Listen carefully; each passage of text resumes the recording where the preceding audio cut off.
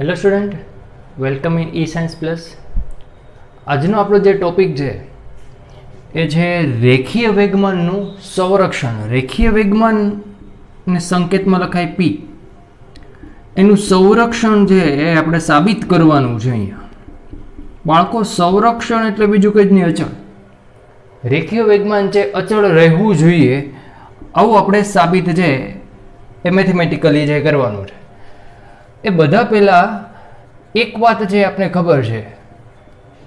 જે video number આગળનો I think video number પાંચ, એની અંદર જે આપણે ભણી ગયા કે તંત્રનું કુલ દળ અને એના દ્રવ્યમાન કેન્દ્રના વેગનો ગુણાકાર એ તંત્રના રેખીય વેગમાન જેટલો હોય.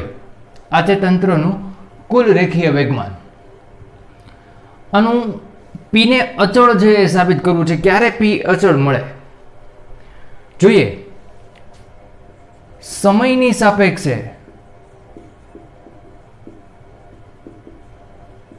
તમે વિકલન કરો તો તમને શું મળે? જુઓ તો દળ છે, અચળ છે. દળને આપણે વિકલનની બહાર લખશું. વિકલન બંને બાજુ કરવું પડે. એક બાજુ ન ચાલે. ગાણિતિક પ્રક્રિયા જે કરીએ, આપણે બંને બાજુ કરીએ. આ શું છે? આ તો પ્રવેગ થઈ ગયો.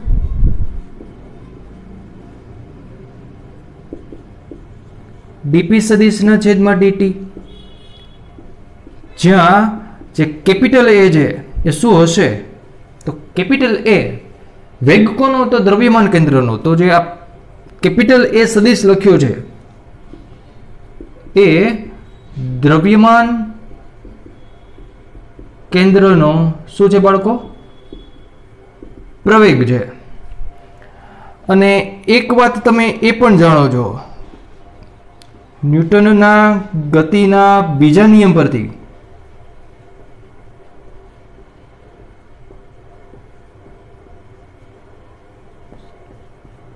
એમ બરાબર શું થાય? એમ એ આગળના વિડીયોમાં તમે જાણીને આવ્યા છો. જોઈ ગયા આપણે ચોથા અને પાંચમા વિડીયોની અંદર. આ બળ એટલે બીજું કંઈ જ નહીં. એક્સટર્નલ બળ. એક્સટર્નલ ફોર્સ બાહ્ય બળ. બરાબર? તો આના બરાબર હું શું લખી શકું?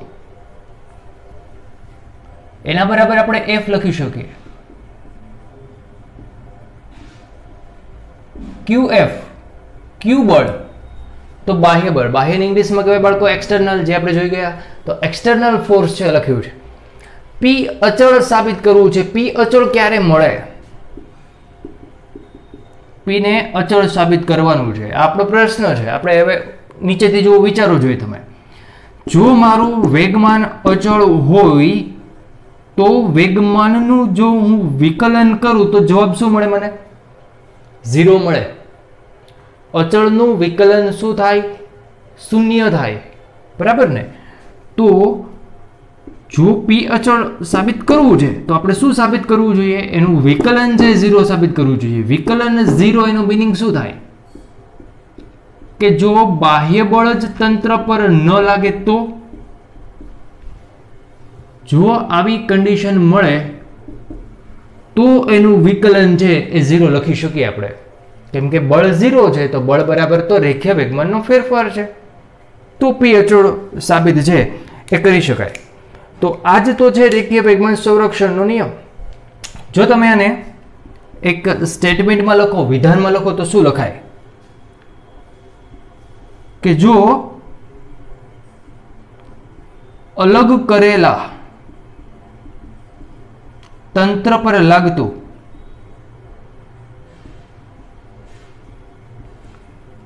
પરિણામી. બાહ્ય બળ શૂન્ય હોય તો તંત્રનું રેખીય વેગમાન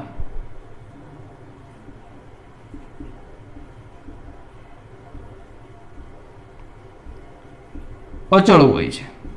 અથવા એમ પણ લખી શકાય, અલગ કરેલા તંત્રનું રેખીય વેગમાન અચળ હોય છે.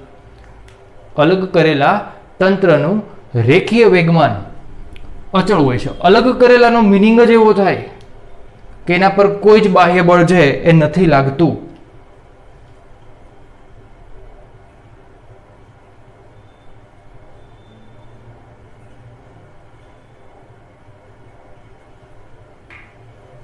અલગ કરેલાનું મિનિંગ શું થાય કે તંત્ર પરનું પરિણામી બળ છે એ કેવું છે? શૂન્ય છે. તો તમે આમ પણ લખી શકો કે અલગ કરેલા તંત્રનું રેખીય વેગમાન કેવું હોય છે? અચળ હોય છે. તો આ બે માર્ક્સમાં પૂછાય એવો નાનો એવો પ્રશ્ન છે. જલ્દીથી આપણે એને નોંધી લઈએ.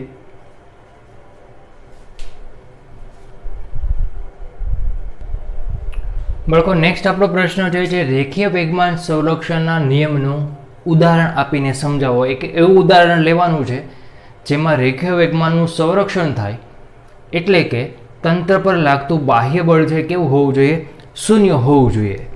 તો એવું એક ઉદાહરણ લઈએ આપણે, કે ધારો કે એક રાસાયણિક બોમ્બ છે. આ બોમ્બની આ છે પ્રારંભિક સ્થિતિ, શરૂઆતમાં, બોમ્બ પડેલો છે. જો પ્રારંભિક સ્થિતિની વાત કરવામાં આવે, એટલે કે ઇનિશિયલ સ્ટેટ એટલે વી સફિક્સમાં આઈ લખ્યું છે, તો એનો પ્રારંભિક વેગ કેવો છે? ઝીરો છે. અને બોમ્બ છે, એનું દ્રવ્યમાન કેન્દ્ર છે, કશેક અહીંયા છે. સ્થિર પડેલો છે. એટલા માટે. તો આપણે એવું લખી શકીએ કે ભાઈ પ્રારંભિક સ્થિતિમાં સ્થિર પડેલા. રાસાયણિક બોમ્બનું પ્રારંભિક રેખીય વેગમાન. રેખીય વેગમાનનું સૂત્ર શું થાય? એમવી એટલે કે પી બરાબર એમવી વી ઝીરો છે એટલે એનું રેખીય વેગમાન પણ કેવું થશે બાળકો? શૂન્ય થશે. શૂન્ય થશે. અને પ્રારંભિક ગતિ ઉર્જાની જો વાત કરવામાં આવે, તો ગતિ ઉર્જાનું સૂત્ર શું થાય? One half M V square ગતિ ઊર્જા અદિશ રાશિ છે. ભૂલમાં અહીંયા વીઆઈ ઉપર સદિશ ન થઈ જાય. વેગ જ ઝીરો છે એટલે એનું મૂલ્ય પણ ઝીરો જશે તો ગતિ ઊર્જા પણ કેવી છે? એ પણ શૂન્ય છે. હવે જ્યારે બોમ્બમાં બ્લાસ્ટ થાય, ત્યારની જો વાત કરવામાં આવે કે આ જે બોમ્બ પડેલો હતો, એમાંથી બ્લાસ્ટ થઈને ધારો કે ત્રણ ટુકડા છે એ થાય છે. એક ટુકડો કંઈક આ દિશામાં છે, એક નાનો એવો ટુકડો છે, એ કંઈક આ દિશામાં જાય છે. બીજો એકાદો ટુકડો છે, એ કંઈક રેન્ડમ આ દિશામાં છે, એ જાય છે. આ એમના વેગ સદીશ છે. વી વન વી ટુ અને વી થ્રી શરૂઆતમાં એનું દળ જો એમ હોય, તો એમ વન એમ ટુ અને એમ થ્રી એવા ત્રણ ટુકડા છે, એ થાય. આ અંતિમ સ્થિતિ છે. તો જ્યારે બ્લાસ્ટ થાય ત્યારની સ્થિતિ શું હશે? કે ભાઈ જ્યારે રાસાયણિક બોમ્બમાં બ્લાસ્ટ થાય ત્યારે બોમ્બના ટુકડા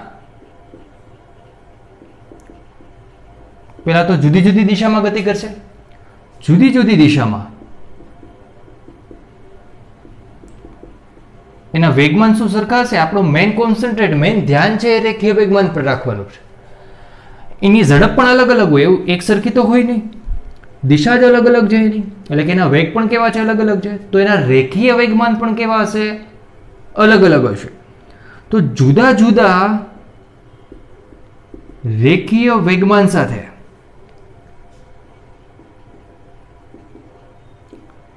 એવી રીતે ગતિ કરશે.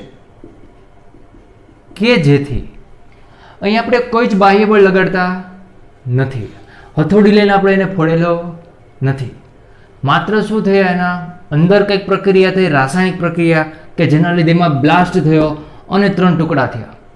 તો જો હમણાં જ આપણે આગળ ભણ્યા કે જો એના પર બાહ્ય બળ લાગતું ન હોય, એટલે કે બાહ્ય બળ જો શૂન્ય હોય, તો રેખીય વેગમાન કેવું હોય? અચળ હોય. તો પહેલા કેટલું હતું? શૂન્ય. તો પછી પણ કેવું થવું જોઈએ? શૂન્ય. તો એવી રીતે ગતિ કરશે કે જેથી એમનું પરિણામી રેખીય વેગમાન P F F for final એટલે કે પી વન સદીશ અને પી ટુ સદીશ પ્લસ પી થ્રી સદીશ. તમે જો એમનો સદીશ સરવાળો કરો રેખીય વેગમાનનો. તો શૂન્ય જ મળવો જોઈએ. આવી રીતે જ બોમ્બ છે, એના ટુકડા છે, એ થાય. નો ડાઉટ રેખીય વેગમાન છે, એનું શૂન્ય મળે છે. પરંતુ અંતિમ ગતિ ઊર્જા કે એફ છે does not equal to zero છે, એટલે કે શૂન્ય છે, એ નહીં હોય. તો આ ગતિ ઉર્જામાં ફેરફાર ક્યાંથી થયો? ગતિ ઉર્જામાં કંઈક ફેરફાર થાય છે. પહેલા ગતિ ઊર્જા કેવી હતી? ઝીરો હતી. એટલે કે ગતિ ઉર્જામાં શું થાય છે? ફેરફાર થાય છે. પહેલા ગતિ ઊર્જા કેટલી હતી? શૂન્ય હતી. હવે ગતિ ઊર્જા શૂન્ય નથી. બધા ટુકડાની ગતિ ઊર્જા કંઈક અલગ અલગ હશે. સરવાળો કરો તો એ નોન ઝીરો મળે, અશૂન્ય મળશે. કાર્ય ઊર્જા પ્રમેય શું કહે છે બાળકો? સૂત્ર શું હતું? ચેપ્ટર નંબર છ.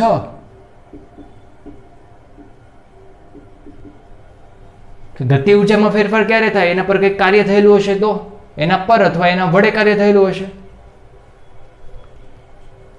અનુસાર તંત્ર પર અથવા તો તંત્ર વડે કાર્ય થયેલું હશે? પરંતુ આપને એ પણ ખબર છે કે ભાઈ અહીંયા બાહ્ય બળ તો કઈ જ લાગતું જ નથી. બાહ્ય બળ ન લાગે તો ચેપ્ટર છ અનુસાર કાર્ય ન થાય. કાર્ય ન થાય તો કાર્ય ઊર્જા પ્રમેય તો એવું કહે કે W is equal to zero હોય તો ડેલ્ટા કે ઝીરો હોવું જોઈએ, પણ ડેલ્ટા કે તો ઝીરો નથી. ફેરફાર થાય છે. તો આ કાર્ય આવ્યું ક્યાંથી? આ ઊર્જા છે ક્યાંથી આવી? તો રાસાયણિક બોમ્બ હોય. તો રાસાયણિક બોમ્બ છે એટલે કે અંદર શું ભરેલું હશે? રસાયણ? કેમિકલ ભરેલું છે. એ કેમિકલમાં અણુ અણુઓ વચ્ચે કંઈક બંધ જોડાયેલા હશે. એટલે કે રસાયણ પાસે શું હશે? આંતરિક ઊર્જા હશે. એક ઉર્જાનું બીજા સ્વરૂપમાં છે રૂપાંતર થાય છે. એટલે કે રાસાયણિક બોમ્બ જે છે, એની આંતરિક ઊર્જા છે. આંતરિક ઊર્જા તમે કેમેસ્ટ્રીમાં ભણ્યા છો. કોને કહેવાય આંતરિક ઊર્જા? અને યાંત્રિક ઊર્જા કોને કહેવાય? એ ચેપ્ટર છ ની અંદર જે આપણે ભણેલા છે. જ્યારે કોઈ યાંત્રિક કાર્ય થાય ત્યારે એને યાંત્રિક ઊર્જા કહેવાય. જો અહીંયા યાંત્રિક કાર્ય થયું છે, સ્થાનમાં ફેરફાર થયેલો છે બોમ્બની આંતરિક ઉર્જાનું યાંત્રિક ઉર્જામાં શું થાય છે? રૂપાંતરણ થાય છે. તો આ છે એક વ્યવહારુ કે જેમાં રાસાયણિક સંરક્ષણનું, રાસાયણિક વેગમાનનું સંરક્ષણ થતું હોય એવું વ્યવહારુ ઉદાહરણ. એક એવી કન્ડિશનનો વિચાર કરો કે ભાઈ આ રાસાયણિક બોમ્બ છે, એક બીજી વાત લઈએ આપણે એક્સ્ટ્રા કરીને. કે ભાઈ, રાસાયણિક બોમ્બ છે, એને આપણે એક ફેંકેલો છે. પેલા જૂના મૂવીમાં ફેંકે ને? ગ્રેનેડ જેવું. એ. તો રાસાયણિક બોમ્બ ગતિ કરીને અહીંયા ક્યાંક પહોંચ્યો છે. તો એનું દ્રવ્યમાન કેન્દ્ર પણ શું થતું હશે? આગળ વધતું હશે? તો અહીંયા બાળકો બાહ્ય બળ શૂન્ય છે. તેથી યાદ યાદ રાખજો કે એનું દ્રવ્યમાન કેન્દ્ર છે કેવું હશે? ઓછી પણ સ્થિર જ હશે. કેમ કે એના પર કોઈ બાહ્ય બળ જે નથી લાગ્યું. બરાબર ને? રહી વાત અહીંયા કે પ્રારંભિક સ્થિતિમાં જેવું રાસાયણિક બહુ આમ ગતિ કરે છે, ફેંકેલો છે આપણે. કોઈ પણ ફેંકેલો પદાર્થ હોય, એનો ગતિમાર્ગ ચેપ્ટર નંબર ચારની અંદર ભણ્યા કે પ્રક્ષિપ્ત ગતિમાર્ગ હોય. પાણીની ધાર જે થાય, એનો ગતિમાર્ગ જે છે, એવો જ. હવે જેવો રાસાયણિક બોમ્બ અહીંયા પહોંચ્યો, ધારો કે એમાં બ્લાસ્ટ થાય છે. બ્લાસ્ટ થયા પહેલાં અને પછી આ બે સ્થિતિનો આપણે વિચાર કરવાનો છે. બ્લાસ્ટ થયા પહેલાં જો રાસાયણિક બોમ્બના દ્રવ્યમાન કેન્દ્રની વાત કરવામાં આવે, તો એનો ગતિમાર્ગ છે એ પેરાબોલિક છે. પર્વલય આકારનો ગતિમાર્ગ. જેવો આમાં બ્લાસ્ટ થશે ધડાકો થશે.